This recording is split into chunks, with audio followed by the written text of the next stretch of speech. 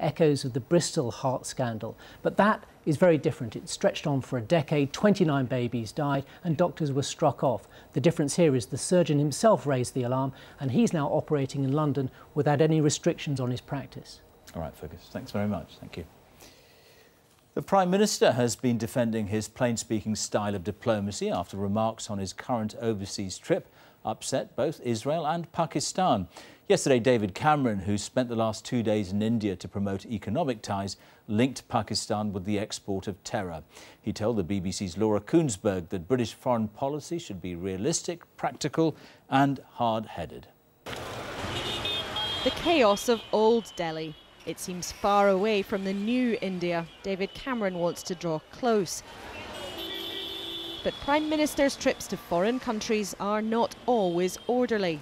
David Cameron came on this trip promising to take jobs home, but he leaves having struck a new British tone for talking about affairs abroad. Yes, he observed the usual public niceties, the old diplomatic traditions, but are his plain words on the fraught situations in Gaza and Pakistan the awkward first foreign steps of a new Prime Minister or evidence of a different approach?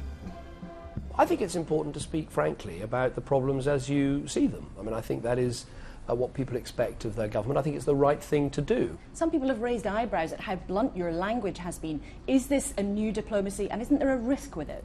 Well, I just think that in life and in politics, it's better to say what you think and to try and be realistic and practical and hard-headed. That's what I think uh, British foreign policy should be about.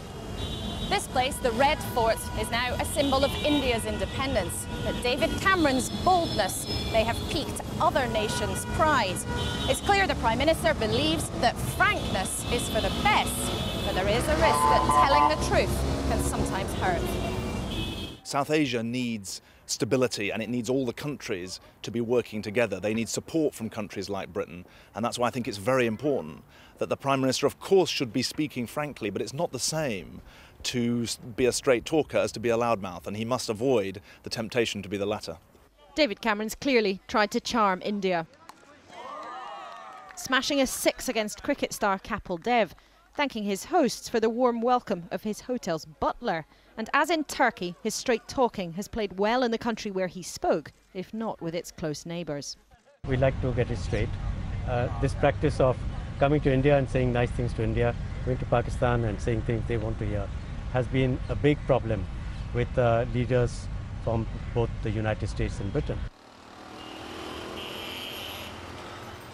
But this journey was meant to be about creating jobs in Britain and while some deals have been sealed, it's taken a different direction, leaving some wondering if honesty is always the best foreign policy. Laura Kuenssberg, BBC News, Delhi. A battle between the Treasury and the Ministry of Defence over budget cuts has come out into the open today. The Chancellor, George Osborne, has said that the £20 billion cost of renewing